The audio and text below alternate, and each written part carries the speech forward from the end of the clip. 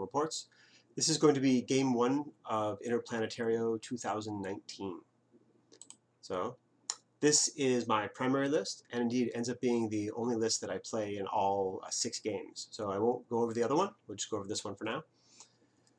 You've probably all seen me play similar lists. I've been playing these lists to uh, train for Interplanetario for a long time. So we have Sheshkin, obviously powerful, powerful gunfighter. It's probably her, her general plan. Uh, my Shrouded, EI Assault Hacker. I love Assault Hackers. I love the Shrouded. Everybody thinks they aren't very good. I think they're spectacular. I get good results with them. Speculo, great killer. Q-Drone, same thing really. I often use it more as an attack piece than a, a reaction piece. Bit and Kiss, super efficient, killer hacker, repeater. Um, Kiss being a robot with a repeater means he benefits from overclock. And I do a lot of putting him out on ARO with a double adhesive launchering at people. And if they kill him, I don't even lose an order. So it's not that big of a deal. And sometimes he'll glue somebody. And sometimes it'll take them two or three orders to kill him. So I'm not He's a great ARO piece because you don't care about him. Yeah. M-Drone, sensor package, always good. R-Drone, great flash pulse bot for defense, again, for the overclocking.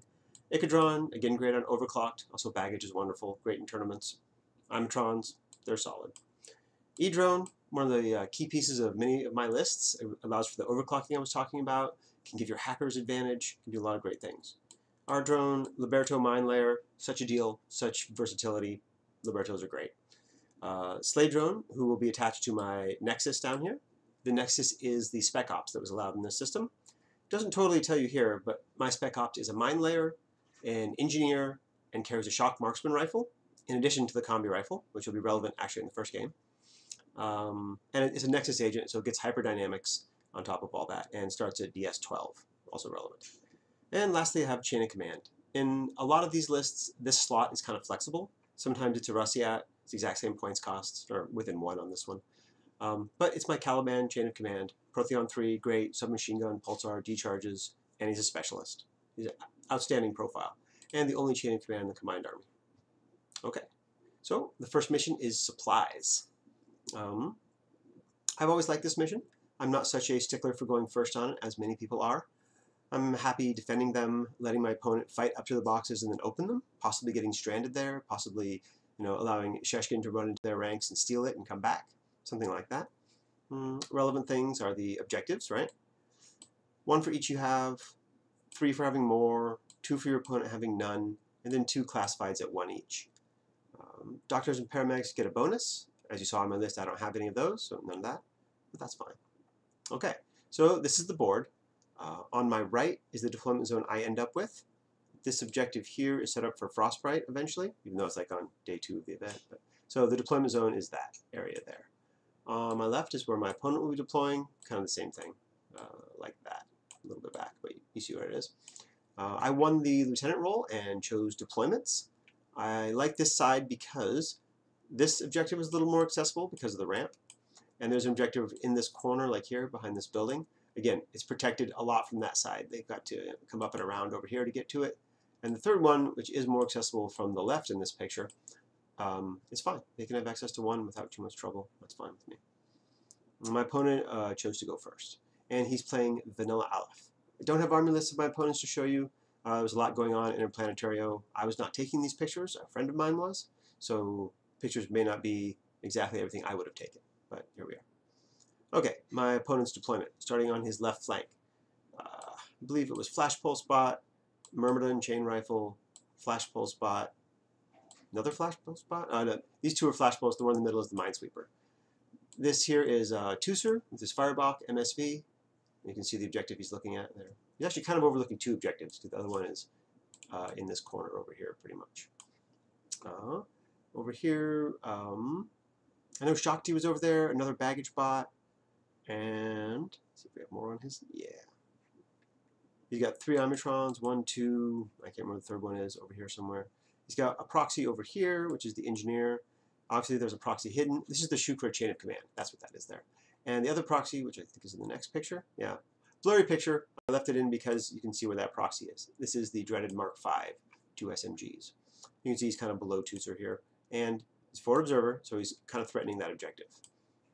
Um, yeah, sorry about some of the blurry pictures. This is my deployment, which we will get better pictures of, but this is what we have right now. Bit and Kiss here. This is my far right flank. Sheshkin over there. Flash Pulse Bot, TR Bot, Slave Drone, Sensor Bot. I believe that this is a mine. This is the Liberto. You can see one of my Imetrons there. Uh, I'll go over to the next picture here. Yeah. There's one Imetron. This is the mine. This is the Liberto. Those are all the models you just saw. So underneath me, this camo token over here, kind of hidden, is the Caliban chain of command. There's also Caliban on top of this building here, which is the Shrouded, threatening that objective. Mm -hmm. uh, bit and Kiss. So you can see Bit prone here on this thing, and Kiss, like I said before, standing up, pretty good lines of fire.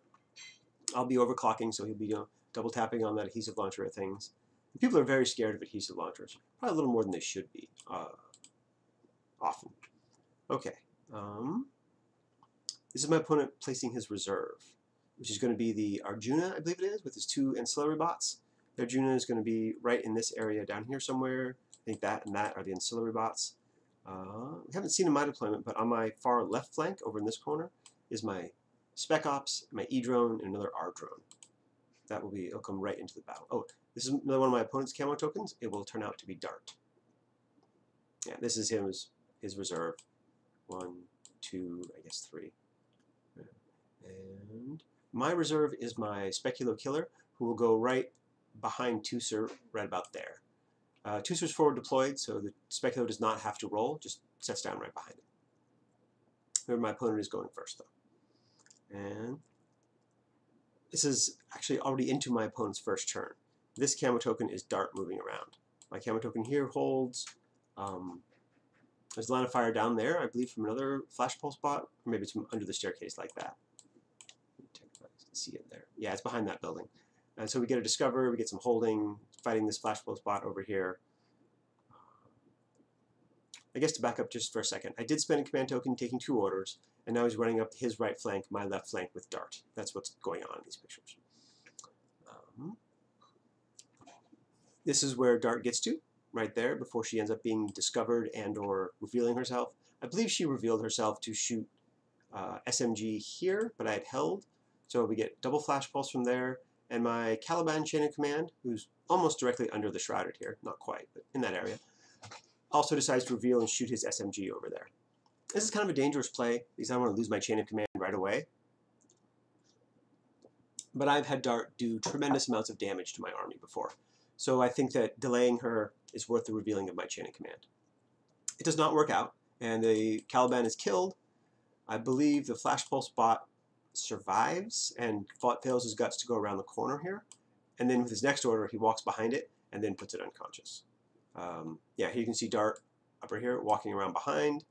Um, and then uh, I don't remember the order. This is about a week ago now, so bear with me a little bit. This drone eventually goes unconscious, as you'll see in a moment. And there's Dart there. This is a mine over here laid by my mine layer, Spec Ops right here, which I believe does put a wound on Dart. So this is sort of where the turn ends up. The drone is here, it's failed the guts test around the corner, and Dart is over here in no wound in cap because of the mine that went off on her. She has killed my uh, Caliban over there, and I do believe that was it. On the other side of the board, this is pretty much his group two orders. Tusser turns around and does a discover, which he fails, so I don't do anything, just let him waste his orders. The Myrmidon then climbs up the building, which takes him two orders, and then throws a smoke grenade over here and tries an intuitive attack, and all, the, all that stuff fails. So the Speculo is just standing there doing nothing, but sucking up a lot of orders. Okay, this is uh, beginning of my turn one.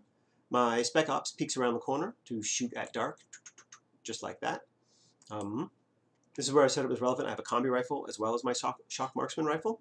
Combi rifle is better against Dart because she has bioimmunity, so she can use her BTS-3 as opposed to her armor. Additionally, at this range, the, sh the shock marksman will be minus 3, combi rifle is plus 3. However, none of that helps me. He throws an EM grenade. You can see the isolated token over here. He isolates the Spec Ops, but the E-drone makes the save against it. That's why I threw it, because the template hits both like that. So, I'm still determined to kill Dart, so there's, uh, there's no way I'm going to let her stay there. And the E-drone peeks around the corner there over the uh, prone uh, spec ops there and back. But I lose that face-to-face -to, -face to the tactical bow, and the E-drone goes unconscious as well. Then I realize a much better course of attack that I probably should have done first. my Q drone is able to shift around over here to get line of fire kind of from that table edge onto what I believe is Dart right there. So the Q drone does that, kills Dart in one. Obviously should have done that first. Uh, part of the reason I didn't is I didn't really look carefully. Another part is I wanted to finish Dart off with group 2 orders before I started spending group 1 orders so they would have more, more to do. Um, when the Q drone comes out to kill Dart, he reveals his proxy sniper is here. Uh, I believe it's prone though. Uh, I don't remember if it started prone, maybe it took a hit and went prone, but it fires at the Q drone and I either threw one die at it or I ignored it, I don't remember which. Um, but the Q drone survived and killed Dart and then the proxy is just right here. So the Shrouded, you know, he figures he's going to take care of that. He scoots up to not in line of fire of the proxy and lays a mine. So we get a mine right here. Shrouded still prone over here. So next order, Shrouded peeks around to see the proxy and then peeks back to where he is. Proxy decides to nanopulse. Um, questionable decision, right? He has a decent chance of killing the Shrouded with that, but I do have an auto med kit. I can come back. He will probably die to the mine. Based on that information, I choose to dodge with the Shrouded. I fail the dodge, great, right? But I, I make the BTS save, and the proxy is indeed killed by the mine, which is shocked to avoid her no wounded cap. So now I've got my Shrouded up here near, near this objective, but out of camo. Yeah, there's the proxy gone, Shrouded gone, or Shrouded still there, mine gone.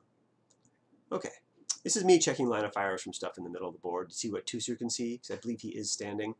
Um, I decide, oh no, he's prone, but I'm checking his line of fires for when he stands up. And I figure I can get my Q drone out here without him seeing once he stands up. That's what I'm checking there. This is on my right-hand side where Sheshkin can peek out to here where she will see the Mark V in, in cover over here, but I'll see the Mark V. So Sheshkin runs out there. Don't want him to be able to just walk out and get this objective. I get flash pulsed and fall back a little bit with guts and then run around the corner. Um, and here we are, the Q drone, as I told you, moved up to there.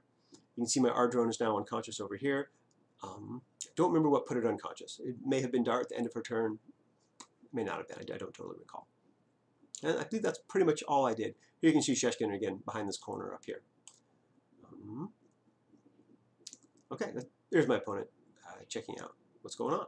Okay, so I believe we're up to my opponent's second turn now. He's got a cam token over here, which is going to come out here and do stuff. Turns out to be a Liberto.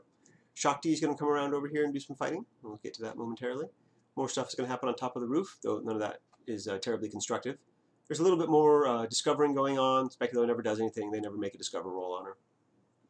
Um, oh, here you can see his uh, Arjuna, again, I believe it is, is unconscious. One of the last things my Q drone did in its turn was shoot over there and put him unconscious. My Q drone is not upgraded. If you'll remember, my E drone was uh, put unconscious by Dart, so I don't have um, any uh, supportware up at the moment. Here's my opponent checking those lines of fire again over there.